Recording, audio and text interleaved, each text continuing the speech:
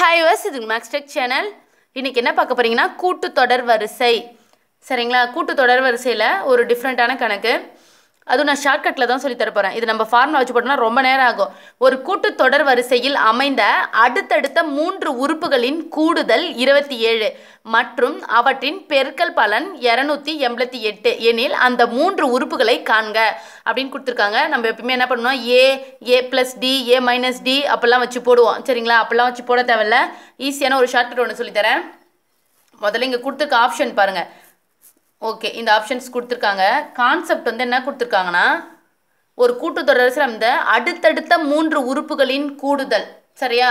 அடுத்தடுத்தனா one two three three four five அப்படி தான் இருக்கணும்னு கிடையாது. சரியா? நடுவில் இருக்கிற டிஃப்ரென்ஸ் வந்து சேமாக இருக்கணும்.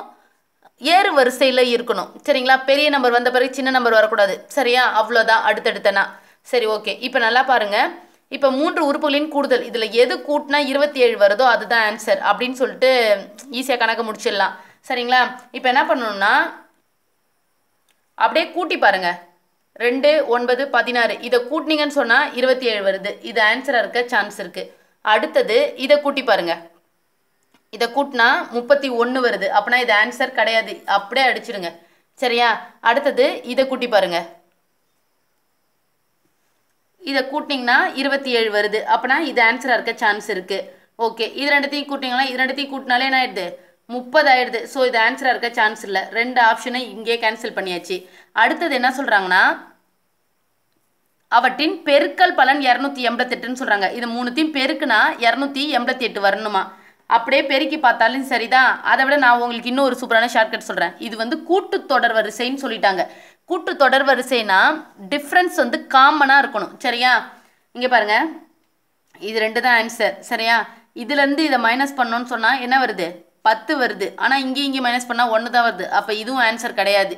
இதுலேருந்து இதை மைனஸ் பண்ணால் ஏழு வருது. இதுலேருந்து இதை மைனஸ் பண்ணால் ஏழு வருது. இதான் ஆன்சர் சரியா? இன்னொரு முறையிலையும் ரெஃபர் பண்ணலாம். அப்படியே மல்டிபிள் பண்ணி பாருங்கள் இந்த லாஸ்ட் நம்பரெல்லாம் எடுத்து மல்டிபிள் பண்ணிங்கன்னா என்ன வரணும்னு கேட்டால் எயிட் வரணும். இப்போ ஒன்றுலேருந்து nine six sir fifty four வரும். லாஸ்ட் நம்பர் மட்டும் சொல்கிறேன் ஃபிஃப்டி ஃபோர் அதில் ஃபோர் எடுத்துக்கோங்க. Four into two sir eight எயிட்டில் முடியுது. அப்போ இதுதான் ஆன்சர் சரிங்களா? அடுத்தது ஒரு சூப்பரான ஒரு ஷார்ட்கட் சம் சொல்லி தரப்போகிறோம் மறக்காமல் நம்ம சேனலை சப்ஸ்கிரைப் பண்ணி வச்சுக்கோங்க. ஒரு லைக் போடுங்க ஷேர் பண்ணுங்கள் தேங்க்யூ